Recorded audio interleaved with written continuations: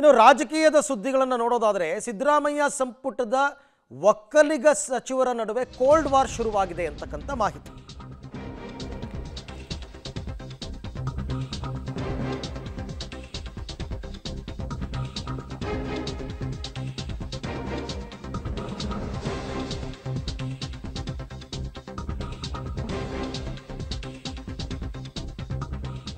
ಸಿದ್ದರಾಮಯ್ಯ ಸರ್ಕಾರದ ಒಕ್ಕಲಿಗ ಸಚಿವರ ನಡುವೆ ಕೋಲ್ಡ್ ವಾರ್ ಅಂತೆ. ಯಾಕೆ ಅಂತಂದ್ರೆ ಮೂವರು ಒಕ್ಕಲಿಗ ಸಚಿವರಿಗೆ ಲೋಕಸಭೆಗೆ ಸ್ಪರ್ಧಿಸುವಂತೆ ಒತ್ತಡ ಹಾಕ್ತಾ ಇದ್ದಾರೆ. ಯಾರು?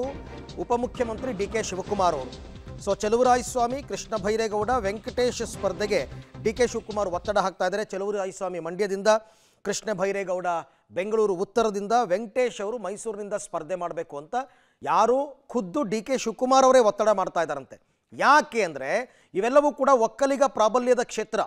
ಇಲ್ಲೇನಾದರೂ ಪ್ರಭಾವಿ ಸಚಿವರು ಸ್ಪರ್ಧೆ ಮಾಡಿ ಗೆದ್ದರೆ ಒಕ್ಕಲಿಗರ ಬೆಂಬಲದ ಕ್ರೆಡಿಟ್ ಡಿ ಕೆ ಶಿವಕುಮಾರ್ಗೆ ಹೋಗುತ್ತೆ. ನೋಡಿ ಇವರು ಒಕ್ಕಲಿಗರು ಅನ್ನೋ ಕಾರಣಕ್ಕೋಸ್ಕರ ಇವರೆಲ್ಲರನ್ನೂ ಗೆಲ್ಲಿಸ್ಕೊಂಡು ಬಂದರು. ಈಗಲೂ ಕೂಡ ಒಕ್ಕಲಿಗರೆಲ್ಲ ಡಿ ಕೆ ಶಿವಕುಮಾರ್ ಪರವಾಗಿದ್ದಾರೆ ಅಂತಂದ್ಬಿಟ್ಟು ಅದು ಡಿ ಕೆ ಶಿವಕುಮಾರ್ ಲೆಕ್ಕಾಚಾರ. ಆದರೆ D C M, D K she ಒತ್ತಡಕ್ಕೆ ಸಚಿವರು ಅಸಮಾಧಾನ ವ್ಯಕ್ತಪಡಿಸಿದ್ದಾರೆ.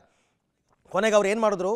ಮುಖ್ಯಮಂತ್ರಿಗಳ ಬಳಿಗೆ ಹೋಗಿ ಲೋಕಸಭೆಗೆ ಸ್ಪರ್ಧೆ ಮಾಡೋದಕ್ಕೆ ಸಾಧ್ಯ ಇಲ್ಲ ಅಂತ ತಮ್ಮ ಅಳಲನ್ನು ತೋಡ್ಕೊಂಡಿದ್ದಾರಂತೆ.